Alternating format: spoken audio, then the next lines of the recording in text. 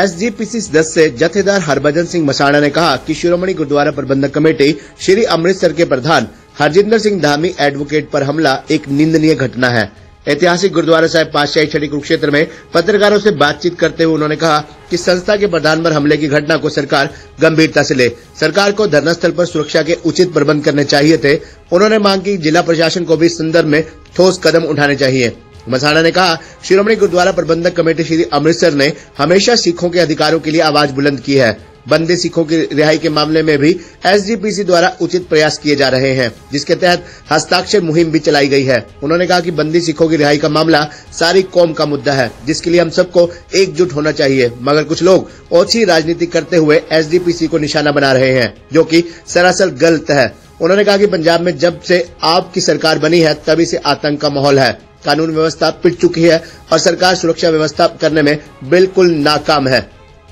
इस मौके पर एसडीपीसी सब ऑफिस के additional secretary doctor Paramjit Singh Saroha internal editor Beant Singh legal सहायक राजपाल सिंह शियत जिला प्रधान जरनैल सिंह बोडी सुखपाल सिंह बुट्टर तेजिंदर पाल सिंह अमरीक सिंह अवतार सिंह मोहिंदर सिंह गुर्ज- सुखजिंदर सिंह मसाणा लखविंदर सिंह गुरुद्वारा साहिब के मैनेजर अमरिंदर सिंह जज सिंह सुखविंदर सिंह सहित अन्य मौजूद रहे ਕੱਲ ਸਾਡੇ ਬਹੁਤ ਹੀ ਸਤਿਕਾਰਯੋਗ ਪ੍ਰਧਾਨ ਸ਼੍ਰੋਮਣੀ ਸ਼੍ਰੋਮਣੀ ਗੁਰਦੁਆਰਾ ਪ੍ਰਬੰਧਕ ਕਮੇਟੀ, ਸਰਦਾਰ ਹਰਜਿੰਦਰ ਸਿੰਘ ਜੀ ਧਾਮੀ ਐਡਵੋਕੇਟ ਜੋ ਕਿ ਬੰਦੀ ਸਿੰਘਾਂ ਦੇ ਵਾਸਤੇ ਮੋਹਾਲੀ ਵਿਖੇ ਜੋ ਮੋਰਚਾ ਲਗਾਇਆ ਹੈ, ਉਸ ਵਿੱਚ ਸ਼ਮੂਲੀਅਤ ਕਰਨ ਵਾਸਤੇ ਉੱਥੇ ਪਹੁੰਚੇ ਸਨ ਔਰ ਕੁਝ ਸ਼ਰਾਰਤੀ ਤੱਤਾਂ ਨੇ ਉਹਨਾਂ ਦੀ ਗੱਡੀ ਦੇ ਭੰਨ ਤੋੜ ਕੀਤੀ ਤੇ ਹੁੱਲੜਬਾਜੀ ਕੀਤੀ।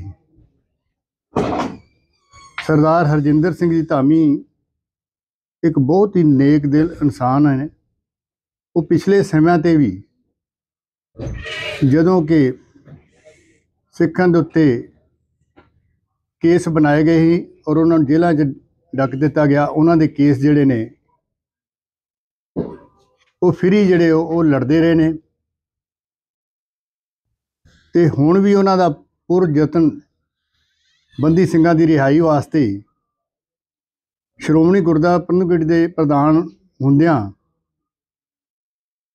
ਉਹਨਾਂ ਨੇ ਬੜੇ ਵੱਡੇ ਪੱਧਰ ਤੇ ਜਿਹੜੀ ਮੁਹਿੰਮ ਚਲਾਈ ਗਈ ਹੈ, ਦ- ਦਸਤੀ ਮੁਹਿੰਮ, ਉਸ ਤੇ ਵੀ ਉਹ ਪੂਰਾ ਧਿਆਨ ਦੇ ਰਹੇ ਹਨ। ਔਰ ਬੰਦੀ ਸਿੰਘਾਂ ਦੀ ਰਿਹਾਈ ਵਾਸਤੇ ਪੁਰਜੋਰ ਜਿਹੜਾ ਉਹ ਯਤਨ ਕਰ ਰਹੇ ਹਨ। ਪਰ ਕੁਝ ਸ਼ਰਾਰਤੀ ਤੱਤ ਜਿਹੜੇ ਨੇ, ਉਹ ਨਹੀਂ ਚਾਹੁੰਦੇ ਕਿ ਇਹ ਮੁੱਦਾ ਜਿਹੜਾ ਹੈ ਬੰਦੀ ਸਿੰਘਾਂ ਦੀ ਰਿਹਾਈ ਦਾ ਉਹ ਹੱਲ ਹੋਵੇ, ਉਹ ਇਸ ਮੁੱਦੇ ਨੂੰ ਲਟਕਾਉਣਾ ਚਾਹੁੰਦੇ ਨੇ ਔਰ ਇਹਦੇ ਵਿੱਚ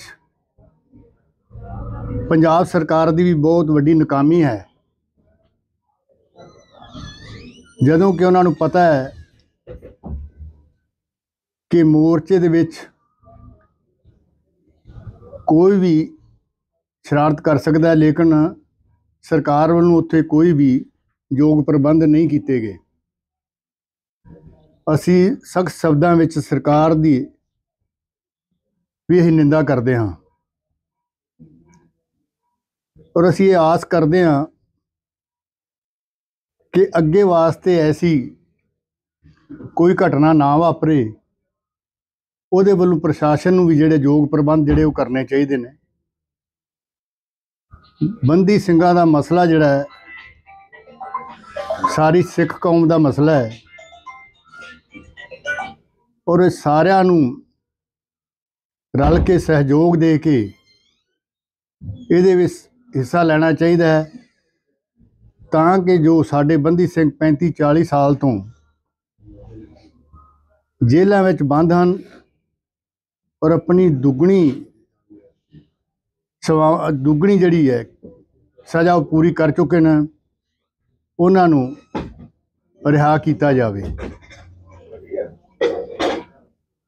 ਅੰਤ ਵਿੱਚ ਮੈਂ ਸਾਰੀ ਕੌਮ ਤੋਂ ਇਹ ਸਹਿਯੋਗ ਮੰਗਦਾ ਹਾਂ ਕਿ ਆਪਾਂ ਇਕੱਤਰ ਹੋ ਕੇ ਇੱਕ ਆਵਾਜ਼ ਦੇ ਨਾਲ ਇਸ ਆਵਾਜ਼ ਨੂੰ ਉਠਾਈਏ ਤਾਂ ਕਿ ਜਿਹੜੇ ਬੰਦੀ ਸਿੰਘ ਨੇ ਉਹਨਾਂ ਨੂੰ ਰਿਹਾ ਕੀਤਾ ਜਾਵੇ। ਔਰ ਇਹ ਦੁਆਰਾ ਮੈਂ ਅਜਿਹੀ ਘਟਨਾ ਜੋ ਕੱਲ ਵਾਪਰੀ ਹੈ, ਉਹਦੀ ਸਖਤ ਸ਼ਬਦਾਂ 'ਚ ਨਿੰਦਾ ਕਰਦਾ ਹਾਂ। क्या मानते हैं कि जब से पंजाब सरकार आई है इस प्रकार के हमले लगातार जारी हैं चाहे वो वहाँ टेररिज्म बढ़ रहा हो और कल जब एडवोकेट धामी साहब वहाँ पहुंचते हैं उनकी गाड़ी को तोड़फोड़ की गई पूरी पूरी तरह से सुनियोजित ढंग से हमला किया गया उनके ऊपर ਦੇਖੋ ਜਿਸ ਦਿਨ ਦੀ ਵੀ ਪੰਜਾਬ 'ਚ ਆਪ ਸਰਕਾਰ ਆਈ ਹੈ ਉਹਦੇ ਹੱਤਿਆ ਲੁੱਟ ਖੋਹ ਜਿਹੜੀਆਂ ਇਹ ਵਾਰਦਾਤਾਂ ਨੇ ਲਗਾਤਾਰ ਹੋ ਰਹੀਆਂ ਔਰ ਸਰਕਾਰ ਦਾ ਇਸ ਤੇ ਕੋਈ ਕੰਟਰੋਲ ਨਹੀਂ ਔਰ ਸਰਕਾਰ ਜਿਹੜੀ ਹੈ ਉਹ ਇਸ ਕੰਮ ਵਿੱਚ ਫੇਲ ਹੋ ਚੁੱਕੀ ਹੈ। ਜਿਹੜੇ ਲੋਕ ਕੱਲ ਪ੍ਰਦਰਸ਼ਨ ਕਰ ਰਹੇ ਸੀਗੇ ਉਹਨਾਂ ਨੇ ਉਹਨਾਂ ਦਾ ਇਹ ਵੀ ਕਹਿਣਾ ਸੀਗਾ ਕਿ ਹੁਣ ਤੱਕ ਐਸਜੀਪੀਸੀ ਤਰਫੋਂ ਕੋਈ ਆਵਾਜ਼ ਨਹੀਂ ਚੱਕੀ ਗਈ ਸੀ ਸਿੱਖ ਬੰਦੇ ਦੇ ਰਿਹਾਈ ਰਿਹਾਈ ਵਾਸਤੇ। ਦੇਖੋ ਇਸ ਤੁਸੀਂ ਕਰਕੇ ਉਹਨਾਂ ਨੂੰ ਗੁੱਸਾ ਸੀਗਾ। ਤੁਸੀਂ ਇਹ ਜਾਣਦੇ ਹੋ ਕਿ ਪਿਛਲੇ ਲੰਮੇ ਸਮੇਂ ਤੋਂ ਸਿੱਖਾਂ ਦੀ ਰਿਹਾਈ ਵਾਸਤੇ ਆਵਾਜ਼ ਵੀ ਉਠਾਈ ਜਾ ਰਹੀ ਹੈ ਔਰ ਪਿਛਲੇ ਮਹੀਨੇ ਡੇਢ ਤੋਂ ਜਿਹੜੀ ਦਸਤੀ ਮੁਹਿੰਮ ਹੈ ਉਹ ਵੀ ਸ਼੍ਰੋਮਣੀ ਗੁਰਦੁਆਰਾ ਪ੍ਰਬੰਧਕ ਕਮੇਟੀ ਵੱਲੋਂ ਜਿਹੜੀ ਉਹ ਚਲਾਈ ਜਾ ਰਹੀ ਹੈ। ਤੇ ਇਸ ਨੂੰ ਕੋਈ ਨਕਾਰਿਆ ਨਹੀਂ ਜਾ ਸਕਦਾ कितने लोग हैं जो बंदी हैं और कितने साल से 35 40 ਸਾਲ ਤੋਂ ਕਿਸੇ ਦੀ 35 ਸਾਲ ਹੋ ਗਏ ਨੇ, ਕਿਸੇ ਨੂੰ 27 ਸਾਲ ਹੋ ਗਏ ਨੇ ਜੇਲ੍ਹਾਂ ਵਿੱਚੋਂ ਔਰ ਤਕਰੀਬਨ ਡਬਲ ਡਬਲ ਜਿਹੜੀ ਸਜ਼ਾ ਉਹ ਕੱਟ ਚੁੱਕੇ ਨੇ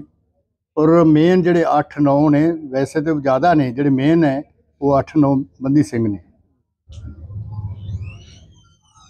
आपके जो एसजीपीसी के प्रधान है धामी साहब उन्होंने बकायदा प्रधानमंत्री मोदी से टाइम मांगा था बंदी सिखों की रिहाई के लिए तो टाइम नहीं दिया गया आज तक एसजीपीसी को टाइम नहीं दिया उसको लेकर भी कुछ आगे मुहिम चलाएंगे कि हमें टाइम मिले या क्या मानते हैं कि प्रधानमंत्री आपको टाइम क्यों नहीं दे रहे ਉਸ ਦੇ ਵਾਸਤੇ ਜਿਹੜੀ ਇਹ ਦਸਤਕ ਮੁਹਿੰਮ ਸ਼ੁਰੂ ਕੀਤੀ ਹੈ ਇਹ ਉਸੇ ਸਬੰਧ ਵਿੱਚ ਕੀਤੀ ਗਈ ਹੈ ਕਿ ਜੇ ਕਿਉਂ ਟਾਈਮ ਨਹੀਂ ਮਿਲਿਆ ਉਸ ਤੋਂ ਬਾਅਦ ਫਿਰ ਜਿਹੜੀ ਹੈ ਇਹ ਦਸਤਕ ਮੁਹਿੰਮ ਸ਼ੁਰੂ ਕੀਤੀ ਹੈ ਤਾਂ ਕਿ ਸਰਕਾਰ ਨੂੰ ਇਸ ਦਾ ਜਿਹੜਾ ਹੈ ਸਾਰਿਆਂ ਦੀ ਜੋ ਰਹਿ ਹੈ ਉਹ ਉਹਨਾਂ ਤੱਕ ਪਹੁੰਚਾਈ ਜਾਵੇ। ਅੱਜ ਜਿਹੜੀ ਮੀਟਿੰਗ ਸੱਦੀ ਗਈ ਆ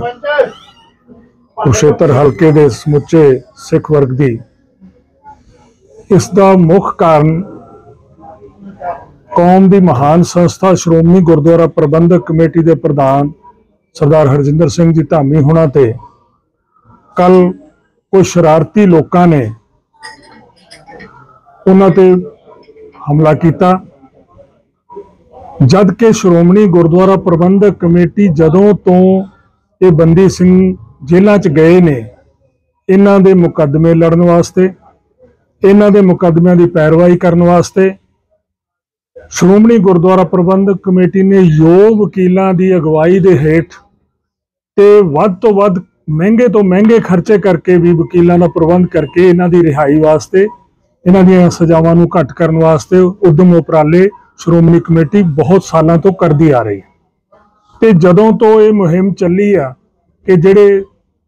ਸਿੱਖ ਕੈਦੀ ਨੇ ਉਹਨਾਂ ਨੂੰ ਰਿਹਾ ਕਿਉਂ ਨਹੀਂ ਕੀਤਾ ਜਾਂਦਾ, ਸ਼੍ਰੋਮਣੀ ਗੁਰਦੁਆਰਾ ਪ੍ਰਬੰਧਕ ਕਮੇਟੀ ਦੇ ਪ੍ਰਧਾਨ ਹਰਜਿੰਦਰ ਸਿੰਘ ਧਾਮੀ ਨੇ ਸਾਰੀਆਂ ਪਾਰਟੀਆਂ ਦੀ ਮੀਟਿੰਗ ਵੀ ਸੱਦੀ, ਸੰਤ ਸਮਾਜ ਨੂੰ ਵੀ ਸੱਦਿਆ, ਸਮੁੱਚੇ ਰਾਜਨੀਤਿਕ ਦਲਾਂ ਨੂੰ ਵੀ ਆਵਾਜ਼ ਮਾਰੀ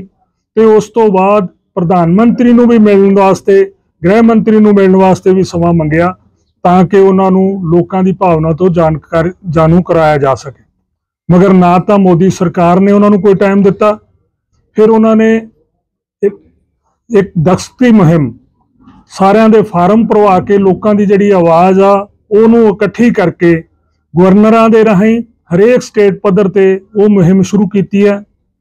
ਤੇ ਮੈਂ ਸਮਝਣਾ ਕਿ ਕੁਝ ਸ਼ਰਾਰਤੀ ਲੋਕ ਨਹੀਂ ਚਾਹੁੰਦੇ ਕਿ ਇਹਨਾਂ ਸਿੰਘਾਂ ਦੀ ਰਿਹਾਈ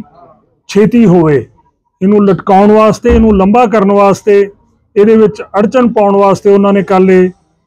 ਮਦਭਾਗੀ ਘਟਨਾ ਨੂੰ ਅੰਜਾਮ ਦਿੱਤਾ ਜਿਹਦਾ ਸਮੁੱਚਾ ਜਗਤ, ਸਮੁੱਚਾ ਸਿੱਖ ਜਗਤ ਖਾਸ ਕਰਕੇ ਬਹੁਤ ਇਹਦੀ ਨਿਖੇਧੀ ਕਰਦਾ ਤੇ ਹਰਿਆਣੇ ਦੇ ਵਿੱਚ ਵੀ ਸਿੱਖਾਂ ਦੇ ਵਿੱਚ ਭਾਰੀ ਰੋਸ਼ ਆ ਕੱਲ ਤੋਂ ਕਿ ਇਹ ਜੇ ਜਿਹੜੇ ਕਾਨੂੰਨੀਆਂ ਹਰਕਤਾਂ ਕਰਨ ਵਾਲੇ ਲੋਕ ਨੇ, ਉਹਨਾਂ ਤੇ ਮੁਕੱਦਮੇ ਦਰਜ ਕਰਕੇ ਤੇ ਉਹਨਾਂ ਦੇ ਪਿੱਛੇ ਕਿਹੜੀ ਸ਼ਕਤੀ ਕੰਮ ਕਰਦੀ ਆ ਉਹਨਾਂ ਤੋਂ ਲੋਕਾਂ ਨੂੰ ਜਾਣਕਾਰੀ, ਜਾਣੂ ਵੀ ਕਰਵਾਇਆ ਜਾਵੇ ਤੇ ਉਹਨਾਂ ਨੂੰ ਸਖਤ ਸਜ਼ਾਵਾਂ ਦੇ ਕੇ ਤਾਂ ਕਿ ਅੱਗੇ ਤੋਂ ਕੋਈ ਇਹੋ ਜਿਹਾ ਤਹੀਆ ਨਾ ਕਰੇ। ਇਹੀ ਸਾਡੀ ਮੰਗ ਹੈ।